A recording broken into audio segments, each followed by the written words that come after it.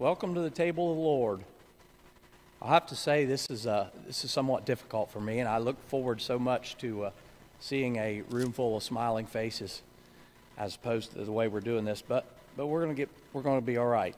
Um, I wanted to share this morning at the uh, elders meeting we had this past week. George mentioned about and brought up about how uh, mammals, uh, as a whole, tend to be social beings, and that that uh, not not every mammal, but the majority tend to be social beings, beings, and that includes humans, and we're the same way.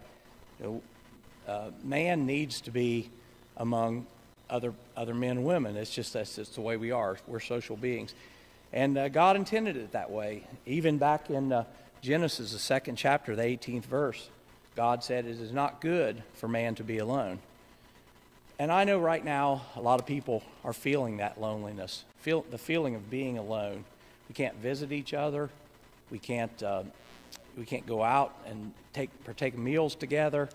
Uh, I know for me, not being able to hug my grandkids, um, not be able to visit my mom, it, it's really challenging. And, and especially for I, I feel so bad for, for ones that are in, in hospitals and, and in nursing homes and that to go through that and that, that feeling that has to be loneliness. Right now, many people just are truly feeling alone. As we come around this table this morning to partake of these emblems, this, uh, this bread, it's going to represent Jesus' body, and the fruit of the vine is going to represent his spilled blood.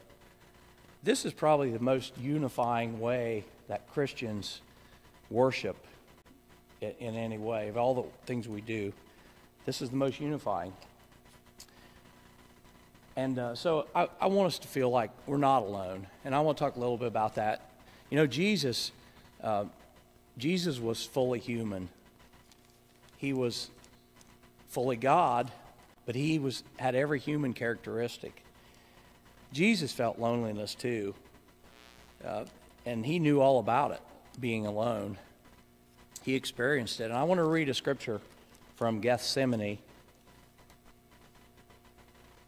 They went to a place called Gethsemane, and Jesus said to his disciples, Sit here while I pray. He took Peter, James, and John along with him, and he began to be deeply distressed and troubled. My soul is overwhelmed with sorrow to the point of death, he said to them. Stay here and keep watch. Going a little farther, he fell to the ground and prayed that if it is possible, the hour might pass from him. Abba, Father, and everything is possible for you. Take this cup from me. Yet not what I will, but what you will. Then he returned to his disciples and found them sleeping. Simon, he said to Peter, are you asleep? Can't you keep watch for one hour? Watch and pray so that you will not fall into temptation. The spirit is willing, but the flesh is weak. Jesus in the garden, he wanted to be with his friends. He, he wanted that comfort. He wanted them to be there with him, to pray with him. But he was alone. They, they couldn't do it. They fell asleep.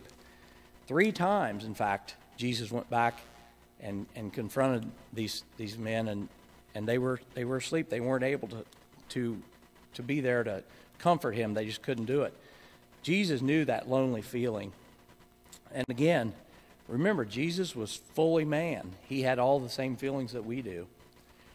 When Jesus then shortly after this was arrested and he uh, was put on trial, again he faced that that feeling of loneliness. Now there were some of the followers that were around in the background and we know the story about Peter and, uh, and, and others that were there.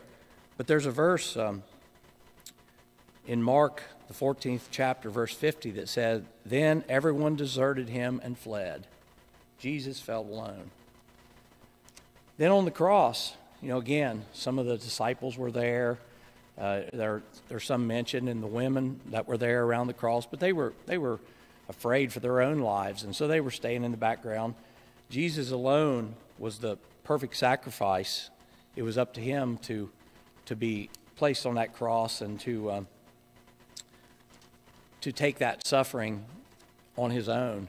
And even the father, his father, had to look away and allow his son to carry all the burden of the world's sin on him alone.